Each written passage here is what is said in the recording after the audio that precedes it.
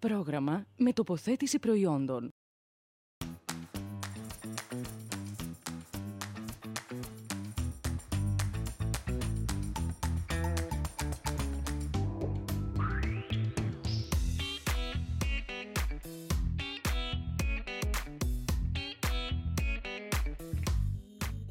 Γεια σας αγαπημένοι μου τηλεθεατές, καλώς ορίσατε και σήμερα στο Εύκολα και Σπιτικά. Σήμερα φτιάχνουμε τρεις υπέροχες συνταγές. Θα ξεκινήσουμε με ένα quiche, quiche Lorraine αν το θυμάστε. Είναι πολύ αγαπημένο. Θα το φτιάξουμε σήμερα με ζαμπόν, μπέικον και τυρί. Θα προχωρήσουμε με μια υπέροχη συνταγή για μακαρόνια. Συγκεκριμένα τα μακαρόνια D'Angelo, τα οποία είναι τα αγαπημένα μακαρόνια του γιού μου που είναι και άγγελος. Είναι μια πολύ πλούσια συνταγή για μακαρόνια και τώρα που ήταν πίσω για τις διακοπές των γιορτών του τα είχα φτιάξει, γιατί του είχαν λείψει, τα είχε επιθυμήσει και είναι μια πολύ ωραία συνταγή. Μείνετε μαζί μου για να δείτε τη λεπτομέρεια. Και θα τελειώσουμε με έναν υπέροχο κορμό λευκής σοκολάτας, μπισκότα και αποξηραμένα φρούτα. Μείνετε μαζί μου για όλες τις συνταγές. Και ξεκινούμε με το υπέροχο quiche μας. Για να φτιάξουμε το quiche θα χρειαστούμε φυσικά να φτιάξουμε μια βάση, μια ζύμη. Οπότε χρησιμοποιούμε το πολυμίξερ μας και ρίχνουμε μέσα πρώτον υλικό αλεύρι. Συνεχίζουμε με φυτικό βούτυρο ή βούτυρο, ό,τι προτιμάτε. Και αυτός μέσα. Θα χρειαστούμε λίγο νερό, πολύ λίγο, είναι 80 γραμμάρια νερό και ένα κουταλάκι αλάτι. Και απλά ξεκινούμε το πολυμίξερ για να ενωθεί η ζύμη μας, να γίνει ένα ενιαίο κομμάτι.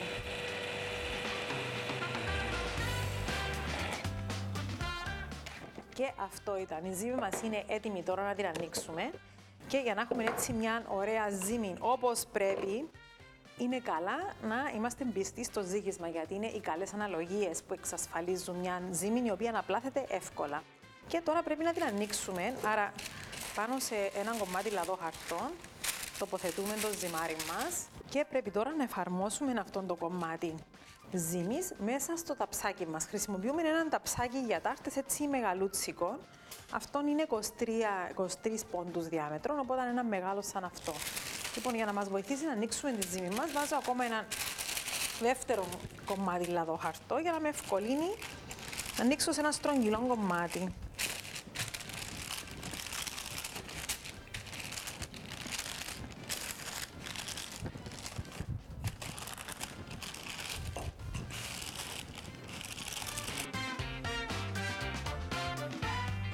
Είμαι έτοιμη τώρα έτσι να το εφαρμόσω. Δέστε πόσο εύκολο είναι χρησιμοποιώντας αυτά τα δύο κομμάτια λαδό χαρτών και με βοηθά έτσι να το σηκώσω και μετά το βάλουμε μέσα έτσι προσεκτικά και να το πιέσω να εφαρμόσει ωραία στο ταψάκι μας.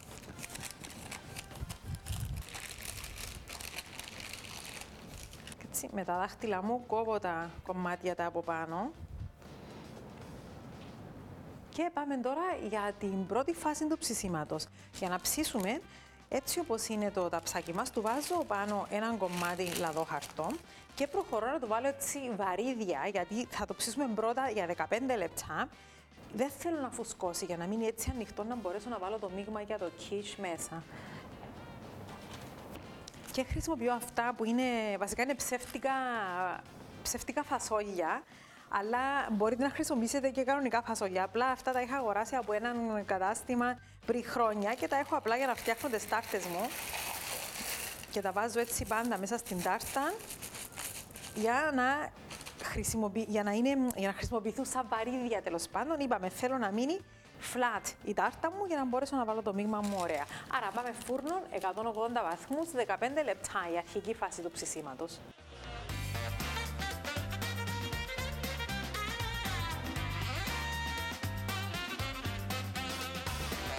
Μέχρι να τελειώσει η πρώτη φάση ψησίματος της τάρτας μας, πάμε να κόψουμε το ζαμπόν και το, και τον μπέικον μας σε κομματάκια.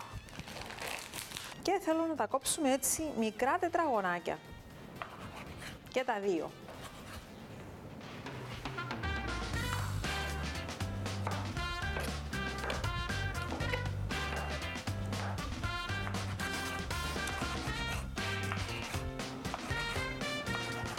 Για τη γέμιση, το κυρίω υλικό είναι τα αυγά. Άρα θα χρειαστούμε τέσσερα αυγά.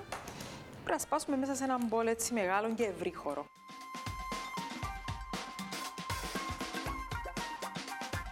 Θα χρειαστούμε ακόμα γιαούρτι, γιαούρτι στραγγιστό, γάλα και βάζουμε επίσης αλάτι, πιπέρι και ξηρό θυμάρι μέσα. Χτυπούμε το μείγμα μας με ένα σύρμα. Είναι ο πιο εύκολος τρόπος έτσι για να χτυπηθεί ωραία και όμορφα έτσι να χτυπηθούν τα αυγά μας μαζί με το γιαούρτι, το γάλα και τα μπαχαρικά. Τέλος βάζουμε και μέσα λίγη μουστάρδα.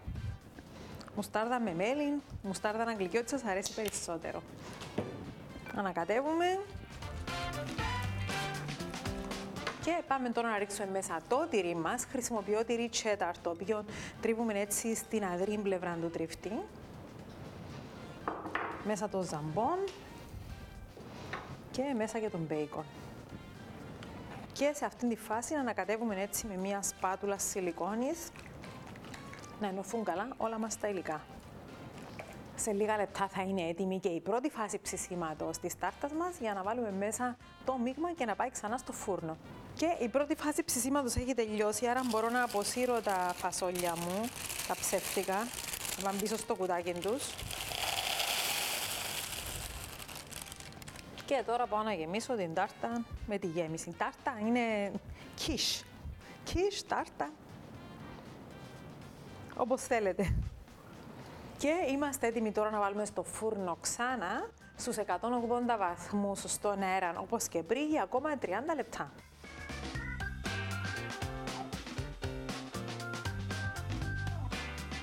Και το κίσ μας είναι έτοιμο. Όπα. Και έχει, έχει ψηλώσει έτσι πολύ όμορφα τώρα, όπως βλέπετε. Όσο περνάει η ώρα, παθαίνει μια σχετική καθίζηση, αλλά μην ανησυχείτε, αυτό είναι εντελώς φυσιολογικό. Οπότε, καλά θα ήταν να το ψήσετε κοντά στην ώρα που θα το σερβίρετε. Υπέροχο.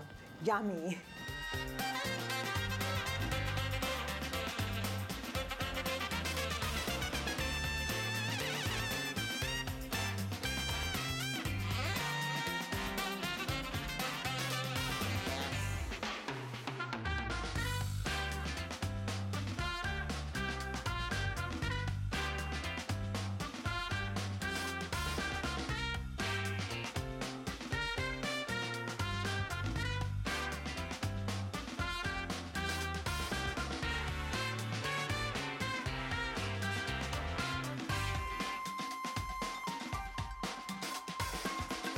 Το Kish, γνωστό ως και Kish Lorraine. Από πού προέρχεται όμως το όνομά του; Πάμε να δούμε. Kish Lorraine, η βασίλισσα. Η Kish Lorraine είναι ίσως η αντιπροσωπευτικότερη και πιο γνωστή αλμυρή τάρτα. Προέρχεται από την παραδοσιακή γαλλική κουζίνα και συγκεκριμένα από την περιοχή της Λορένης. Δεν πρόκειται βέβαια για κανένα kiss, φιλή στα αγγλικά αλλά για τη γαλλική λέξη quiche, που αποτελεί παραφθορά της γερμανικής λέξεως «keschen», cake. Η πρώτη καταγεγραμμένη συνταγή του 1605 προέρχεται από την κουζίνα του Δούκα της Λορένης και πρώην βασιλιά της Πολωνίας Στασίνλας, που είναι καταγεγραμμένος ως λάτρης της εν λόγω αλμυρής τάρτας. Αρχικά, η γέμιση αποτελούνταν μόνο από αυγά και κρέμα γάλακτος. Κατά τον 19ο αιώνα, πρόσθεσαν μικρές λωρίδες μπέικον που χαρακτηρίζουν το Kish Lorraine του σήμερα. Και πάμε τώρα να φτιάξουμε τα αγαπημένα μακαρόνια του γιού μου, του Άγγελου, τα οποία ονομάζουμε μακαρόνια πέντε του Άγγελου. Οπότε πάμε πρώτα να ψήσουμε τα μακαρόνια μας, γιατί όση ώρα χρειάζονται τα μακαρόνια να ψηθούν, είναι η ώρα που χρειάζεται για να φτιάξουμε και τη σως. Χρησιμοποιώ ζεστό νερό.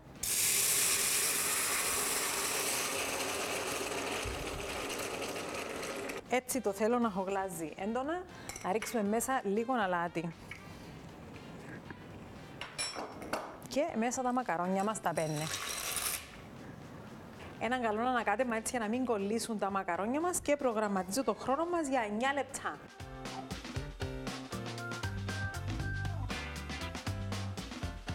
Για το υπέροχο αυτό σως. Βάζω το τηγάνι μου έτσι να ζεσταθεί σε δυνατή φωτιά Ρίχνουμε πολύ λίγο ελαιόλαδο. Το ελαιόλαδο μας ζεσταίνεται πάρα πολύ γρήγορα γιατί είναι έτσι δυνατή η φωτιά και ρίχνω μέσα τώρα μανιτάρια. Αυτά είναι button mushrooms, χρησιμοποιώ τρία τα οποία θέλω να κόψω σε λεπτές πετσούλες.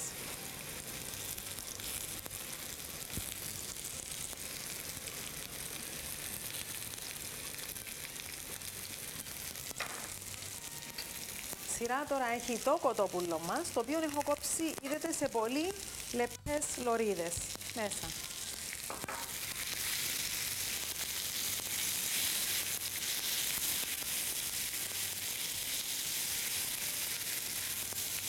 Ανακατεύω με μια σπάτουλα σιλικόνης, έτσι για να μπορώ να μετακινώ το κοτόπουλο μου άνετα. Χρειάζεται πάρα πολύ λίγο χρόνο να το ψήσουμε, Απλά έτσι να χάσει το ομό του χρώμα.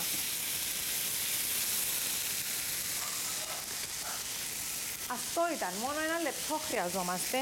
Έτσι δεν θέλω να το αφήσω περισσότερο, γιατί θέλω να μείνει το κοτόπουλο μου μαλακός. Δεν πρέπει να το βαρύψουμε. Ρίχνω τώρα το λευκό κρασί μέσα. Έτσι σε δυνατή φωτιά, να δούμε το κρασί να εξατμίζεται, να εξατμιστεί το αλκοόλ και να μείνει μόνο η ωραία μυρωδιά του λευκού κρασιού. Έτσι μόλις εξατμιστεί το κρασί μας, ρίχνουμε μέσα τώρα την κρέμα γάλακτος. Όλα τα ωραία υλικά, γι' αυτό είναι τόσο υπέροχη αυτή η μακαρονάδα. Το τυρί κρέμα, μέσα και αυτό. Εδώ έχουμε αλάτι και λίγο τσίλι. Τσίλι, προσέξτε να βάλετε πάρα πολύ λίγο γιατί είναι καυτερό. Δεν θέλουμε να είναι πολύ καυτερό το φαγητό μας, άρα έτσι στη μίτσι στο κουταλάκι θα βάλετε λίγο μέσα και αυτό. Ωχ, άρχισαν να μυρίζουν όλα πολύ ωραία τώρα. Πρόκειται για μια εξαιρετική μακαρονάδα.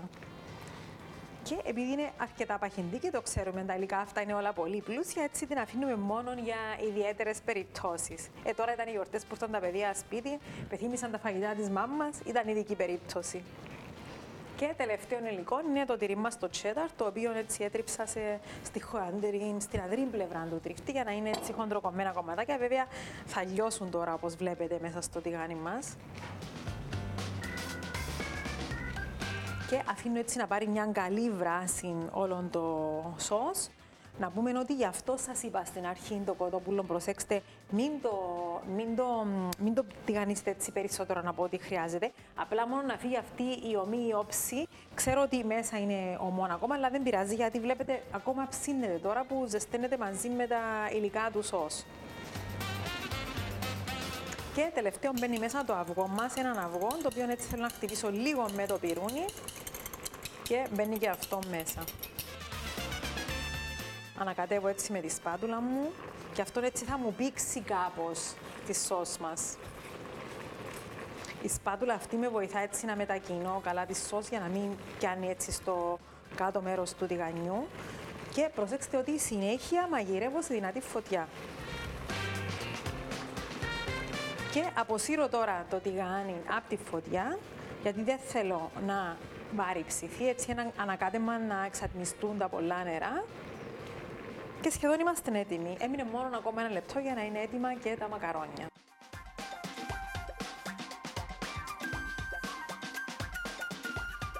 Και αυτό ήταν τα μακαρόνια μας έτοιμα. Άρα μέσα τα μακαρόνια μπαίνουν στην κατσαρόλα. Ρίχνουμε και τη σώσα από πάνω. Σας το λέω, δεν έχει πιο ωραία συνταγή για μακαρόνια. Και χορταστικά και πλούσια. Έτσι έναν καλό ανακάτεμα να πάει σως παντού. Να πούμε, να θέλετε, μπορείτε να το φτιάξετε και με μακαρόνια σπαγέτσι ή ταλιατέλε ή λιγκουίνι, ό,τι σας αρέσει. Απλά εμείς παραδοσιακά αυτό μάθαμε να το φτιάχνουμε με, το, με τα μακαρόνια πένε. Είδατε ότι φαίνονταν μπόλικη ίσως, αλλά τώρα έχει απλώσει ωραία μέσα στην κατσαρόλα μας, έχει ενωθεί ωραία με τα μακαρονάκια και είμαστε έτοιμοι να σερβίρουμε. Ένα ωραίο μπολ για μακαρόνια, το μπολ του άγγελου αυτό και η μερίδα μας πάει μέσα. Διακοσμούμε έτσι με λίγο ψιλοκομμένο μαϊτανό, αν θέλουμε. Και φυσικά λίγο φρεσκοτριμμένο πιπέρι.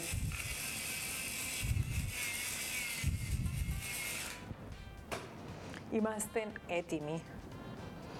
Ωχ, σας το λέω, δεν έχει πιο ωραία συνταγή για μακαρόνια.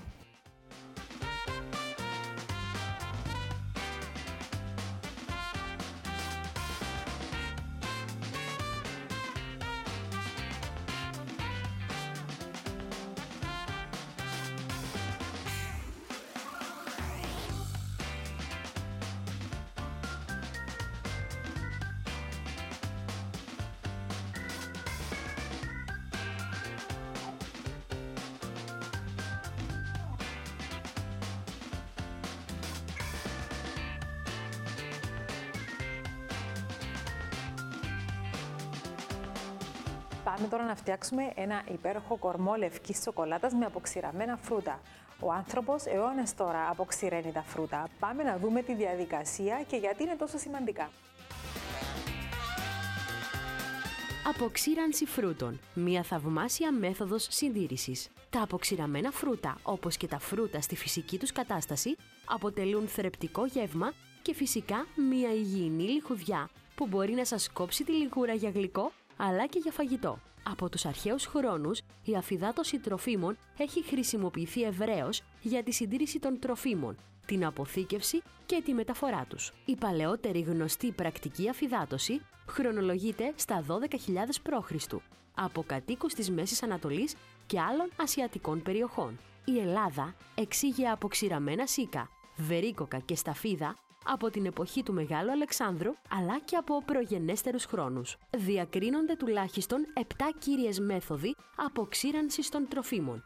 Η ξύρανση στον ήλιο είναι η αρχαιότερη, ευκολότερη και οικονομικότερη μέθοδος.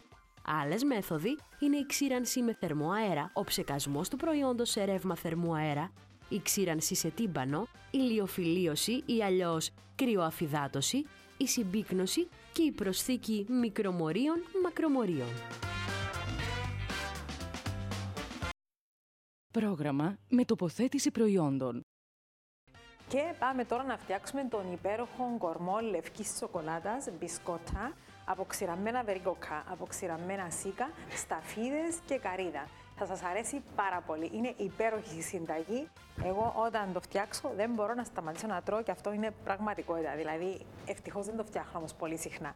Και πάμε για την πολύ εύκολη εκτέλεση. Θα χρειαστούμε κρέμα γάλακτος, θα χρειαστούμε 200 γραμμάρια, άρα σχεδόν όλο το κουτάκι, γιατί αυτό είναι 250. Μέσα για να αρχίσει να ζεσταίνεται.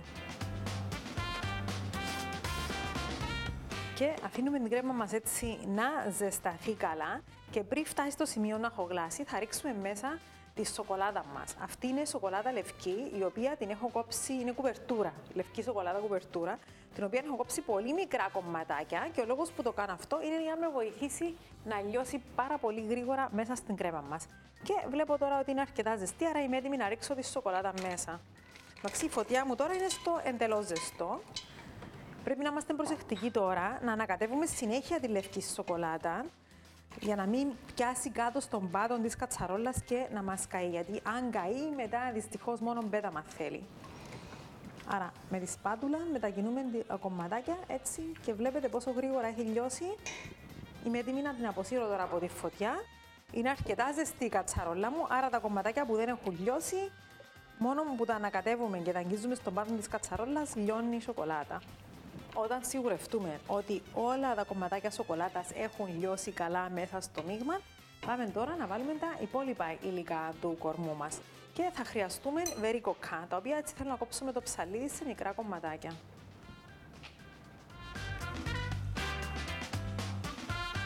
Και τώρα τα αποξηραμένα σίκα, τα οποία θέλω για αυτά να τα κόψω σε μικρά κομματάκια. Μέσα στον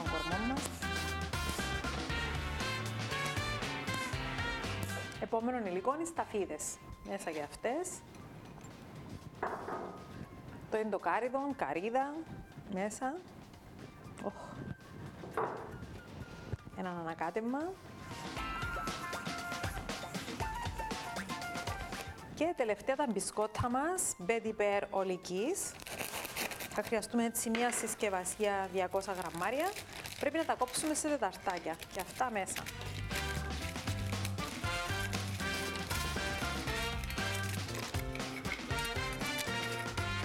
Και έναν καλό ανακάτεμα για να πάει παντού η σοκολάτα να καλύψει τα μπισκότσα. Όχι, να ξυμυρίζει τέλεια. Έχει μια υπέροχη έτσι μυρωδιά βανίλια σε αυτό το πράγμα. Βανίλιας και εντοκάριδο. Τα αγαπημένα μου. Και είμαι έτοιμη τώρα να φορμάρω, να βάλω να, να το, για να πάρει το σχήμα του. Θα χρησιμοποιήσουμε έναν ταψάκι ορθογώνιο σαν αυτό, το οποίο θέλω να στρώσω έτσι με μπόλικη με βράει να περισσεύει γύρω-γύρω και πρέπει να μεταφέρουμε το μείγμα μέσα στο ταψί μας.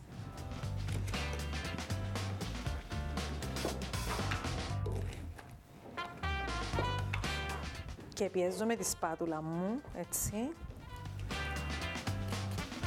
Αλλά και τώρα και με τη μεμβράνη, γι' αυτόν ήθελα να αφήσω έτσι μπόλικη γύρω-γύρω. Έτσι με το χέρι μου, όταν το σκεπάσω, να το πιέσω να πάρει ωραία και όμορφα το σχήμα του ταψιού.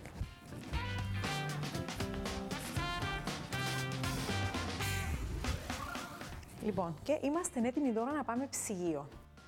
Θέλει αρκετή ώρα όμως. Πρέπει να μείνει ή από την προηγούμενη ημέρα ή τουλάχιστον 4 ώρες γιατί θέλω να σφίξει καλά και θέλει την ώρα του δυστυχώς στο ψυγείο για να σφίξει καλά.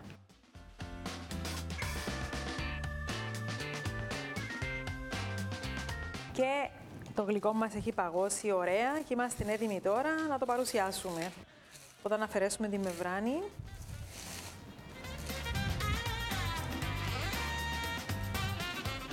Γι' αυτό το γλυκό, επειδή είναι και έτσι χειμερινό, μου αρέσει να είναι έτσι σανιδάκι για να το παρουσιάσουμε. Οπότε νομίζω είμαι έτοιμη. Οπα.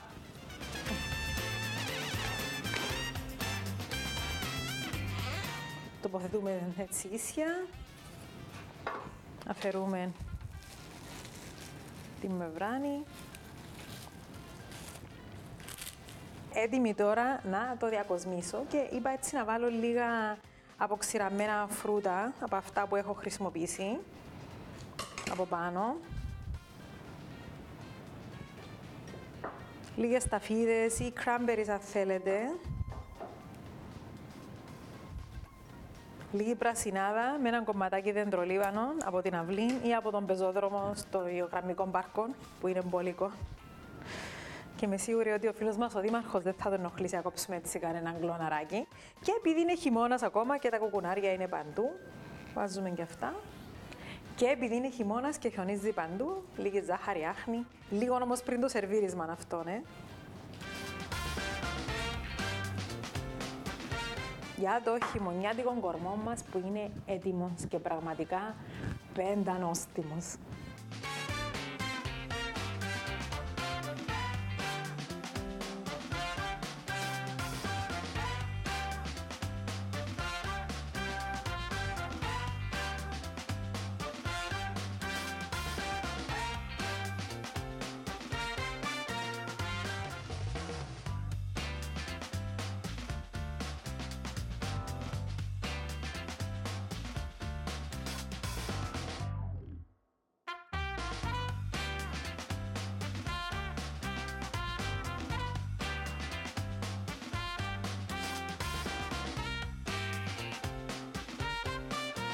Έτοιμο το μενού της Κυριακής μας. Φτιάξαμε ένα πάρα πολύ νόστιμο κίσ με μπέικον και ζαμπόν, τυριά, εξαιρετικά νόστιμο και εύκολο σε εκτέλεση αναλόγως.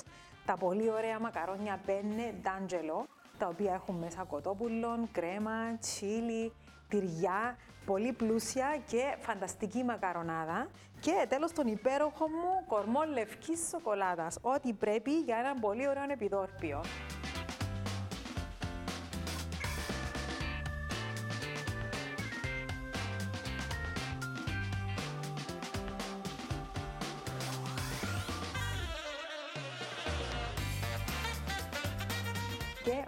Τώρα για τις ερωτήσεις μας. Και στο τέλος κάθε εκπομπής απαντώ δύο από τις ερωτήσεις που μου στέλνετε εσείς οι τηλεθεατές στο blog μου στο athinarecipes.com. Και να πω και πάλι ότι είναι ο πιο εύκολος τρόπος να επικοινωνήσετε μαζί μου. Προτιμώ από την ιστοσελίδα αντί από το Facebook, γιατί την ιστοσελίδα τη βλέπω συνέχεια και μπορώ να σας απαντήσω σχεδόν σε 24 ώρες. Πρέπει να είναι απαντημένη η ερώτηση. Λοιπόν, η πρώτη ερώτηση είναι από τη φίλη Νίκη και είναι μια ερώτηση που μου κάνετε πάρα πολύ ε, συχνά αν μπορείτε να αντικαταστήσετε το φυτικό βούτυρο με αγελαδινό βούτυρο μέσα στις συνταγές. Η απάντηση είναι ότι ναι, στις περισσότερες συνταγές μπορείτε να αντικαταστήσετε. Πολλές φορές το χρησιμοποιώ γιατί, ειδικά στα μπισκότα, τα cookies, τα αμερικάνικα, σε ορισμένα κέικ, δίνει μια έτσι πάρα πολύ ωραία ανυφή που καμιά φορά δυσκολευόμαστε να την βρούμε με τον βούτυρο των αγελαδινών. Ε, άρα, αλλά αν προτιμάτε γενικά να χρησιμοποιείτε το βούτυρο, μπορείτε στην ίδια ποσότητα να αντικαταστήσετε το φυτικό με τον φρέσκο το βούτυρο των αγελαδινών. Η δεύτερη ερώτηση είναι από τη φίλη Κωνσταντίνα και η Κωνσταντίνα με ρωτά αν στις συνταγές που γράφω όπου χρησιμοποιώ αλεύρι να αντικαταστήσει με αλεύρι νολικής. Δυστυχώς ε, δεν είναι όλες οι συνταγές που μπορούν να γίνουν ή μπορούν να πετυχαίνουν σε αναλογία ε, όταν χρησιμοποιούμε ένα αλεύρι ολική αντί το συνηθισμένο, γιατί καμιά φορά το ολική μπορεί να χρειαστεί περισσότερο υγρό κτλ. Άρα προτιμώ καλύτερα στις συνταγές να χρησιμοποιείτε το αλεύρι το συνηθισμένο όταν το αναφέρω και θα προσπαθήσω, εάν η συνταγή βγαίνει εξίσου καλή και σωστή με τις ίδιες αναλογίες ολικής, να το αναφέρω. Αυτά από μένα για σήμερα. Ευχαριστώ για τις ερωτήσεις σας και τα σχόλια σας που πάντα τα περιμένω με αγωνία στην ιστοσελίδα μου γιατί θέλω να ξέρω πώς σας φάνηκαν οι συνταγές, αν τις βρήκατε εύκολες, αν σας άρεσαν κτλ. Για μένα είναι μεγάλη χαρά πάντα να παίρνω τα σχόλια σας. Αυτά από μένα για σήμερα. Φτιάξτε τις υπερόχες συνταγές που κάναμε και θα τα πούμε την επόμενη εβδομάδα. Γεια σας!